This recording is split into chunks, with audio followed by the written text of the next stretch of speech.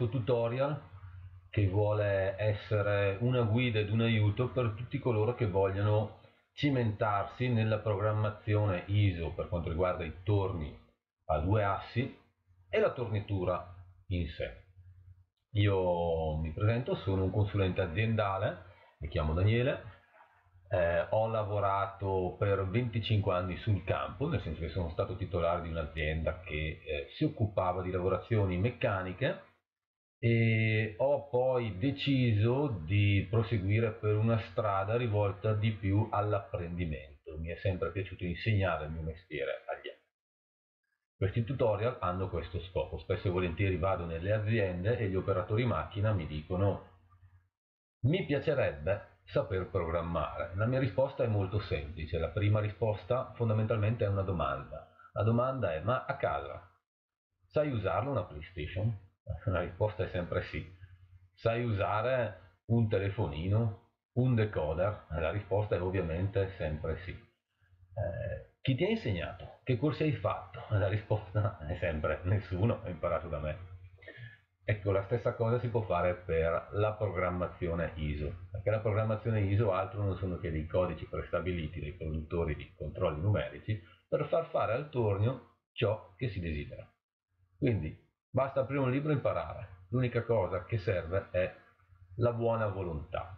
Quello più difficile per quanto riguarda la tornitura è imparare la gestione del trucciolo, la deformazione dei pezzi, la, preparazione delle griffe, il bloccaggio del prodotto in macchina e quant'altro.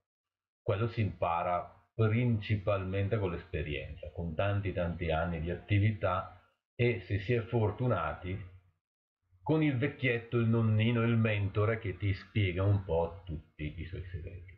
Farlo su un computer è quasi impossibile, però possiamo su un computer, grazie agli strumenti di oggi, cominciare a vedere quella che è la programmazione ISO e dare una strada un po' più semplice ai giovani d'oggi del libro da sfogliare ponendoci un'alternativa, cioè quella del tutorial video. Bene, da lì voglio cominciare con due software, uno molto semplice, che è quello che già vedete, che altro non è che un tornietto a due assi, dove noi possiamo andare ad inserire del codice ISO, dove noi possiamo andare a vedere le lavorazioni che facciamo in macchina, andare a posizionare eh, più utensili sul, sulla torretta, tutti quelli che diciamo, ci vengono in mente. Non abbiamo una programmazione diretta, non abbiamo una programmazione parametrica, è una programmazione punto punto. Vi spiegherò un po' lentamente cosa sono tutte queste cose per cominciare a muoverci nello spazio degli assi cartesiani. Questo è un primo step che affronteremo. Un secondo step sarà quello di andare a usare un software eh, un pochino più serio, un software che come vedete richiama quello che è un CNC Fanuc. Un CNC Fanuc con tutti quelli che sono i suoi pulsanti di automatico, di edit, MDI, la tastierina, l'antipatica tastierina Fanuc, eh, questo Fanuc ha sempre la programmazione punto punto ma ci permetterà di inserire delle macro di sgrossatura che quelle le andremo a vedere nei prossimi step.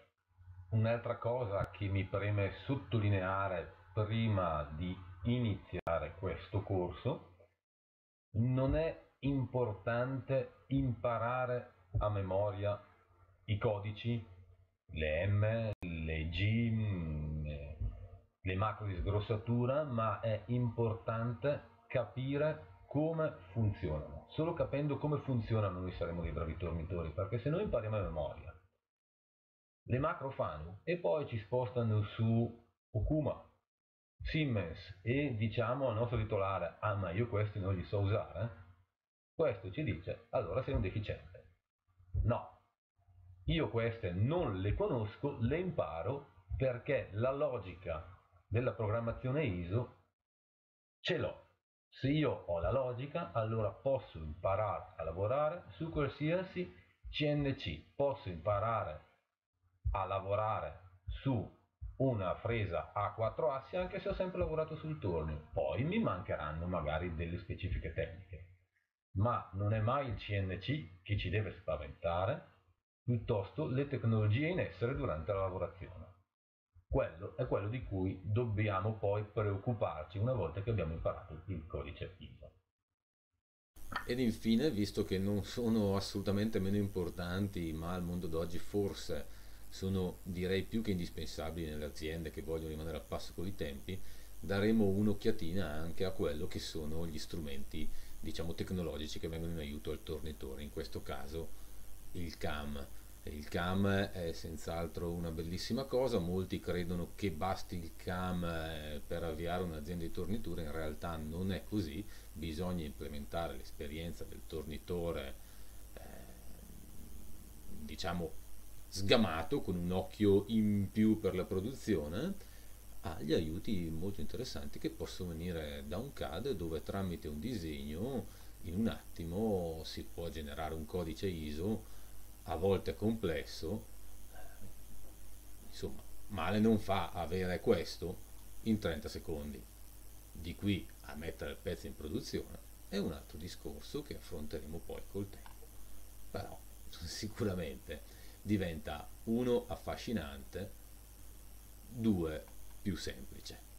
Vedremo anche bene, mi auguro che il video sia stato di vostro interesse. Se così fosse mi farebbe piacere vogliate mettere un like eh, al video stesso e condividerlo con tutti coloro che possano avere interesse per la tornitura in genere, per le lavorazioni meccaniche e per la programmazione ISO.